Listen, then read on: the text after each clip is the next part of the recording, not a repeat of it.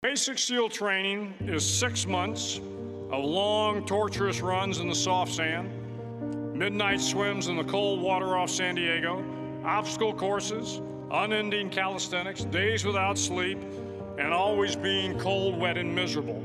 It is six months of being constantly harassed by professionally trained warriors who seek to find the weak of mind and body and, eliminate them from ever becoming a Navy SEAL. But the training also seeks to find those students who can lead in an environment of constant stress, chaos, failure, and hardships. To me, basic SEAL training was a lifetime of challenges crammed into six months.